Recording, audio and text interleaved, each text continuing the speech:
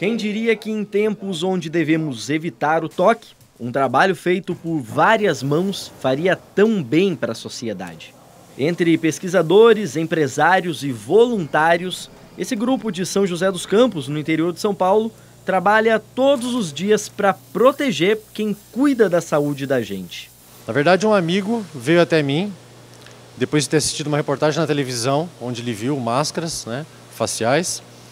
Ele queria fazer uma máscara para a esposa, né, que trabalhava no pronto, trabalha no pronto-socorro. Começamos de maneira pequena, solicitando a ajuda de amigos que tivessem é, impressora 3D em casa. Começou com uma, com duas, com três. Hoje somos 25 impressoras 3D fazendo máscaras e eu aqui no corte a laser. Então é uma barreira mecânica bastante eficiente, que inclusive até poupa as máscaras nossas descartáveis, né?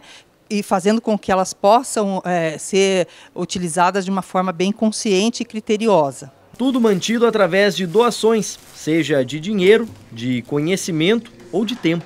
O movimento cresceu e chegou nesta universidade, onde várias impressoras 3D funcionam exaustivamente para produzirem a estrutura das máscaras. Foi uma iniciativa que nem, nem nasceu aqui dentro da universidade, ela nasceu fora. A gente entrou logo no início dessa iniciativa, mas é uma iniciativa de pessoas, um grupo de pessoas aqui da cidade, pessoas que têm essa, esses, aqui, esses equipamentos, que são as impressoras 3D, né?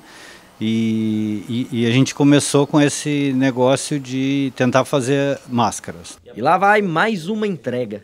Mais de mil máscaras de uma vez, destinadas aos profissionais de saúde da rede pública. A gente aqui está funcionando como um ponto de central, assim, de o pessoal traz o material para cá, a gente aqui, a gente são, são professores, alunos e pessoas de fora também estão ajudando nisso a gente limpa, monta esse material todo, prepara para entregar e a entrega é feita aqui. O pessoal vem em geral buscar aqui. Boa parte da produção que é entregue aos profissionais da saúde sai dessas máquinas aqui.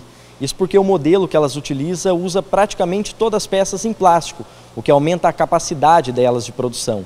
Se eles tiverem a matéria-prima por aqui, podem ser produzidas até 1.200 peças por dia. E olha que o Sandro nem vive disso.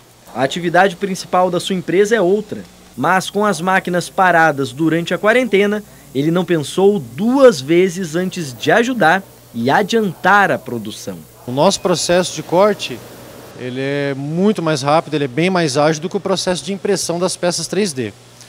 Tanto que conseguimos um novo projeto de uma nova máscara onde não precisam das peças impressas. Né? Ela é toda feita em PETG ou acetato ou policarbonato. E aí a nossa produção aqui de 120, 150 máscaras diária pula para quase 1.200. Com isso, em pouco mais de duas semanas, quase todos os 6 mil profissionais de saúde da cidade já foram contemplados com o equipamento. Um alívio para a secretaria, uma vez que a compra destes materiais de proteção é burocrática e concorrida, principalmente durante uma pandemia. Se a gente fosse ver hoje numa, numa questão uh, São José, com todo o equipamento dele, né, de toda a rede, usa mais de 100 mil máscaras mês da descartável. Agora, as doações também estão seguindo para mais cidades, inclusive de outras regiões. Mas o maior presente mesmo é o exemplo de que, quando juntamos o pouco que cada um pode fazer, muita coisa pode ser transformada. Já foi máscara lá para o Rio Grande do Sul, já foi máscara para a Amazônia. Já foi máscara para várias cidades de Minas, assim. São, são demandas um pouco menores ainda desses lugares, né? mas à medida que a gente for suprindo a necessidade local aqui da, de São José dos Campos, a gente vai podendo atender mais essas outras cidades. Se é alguma coisa que há de bom em tudo isso, é realmente a empatia, o desenvolvimento da solidariedade e da fraternidade.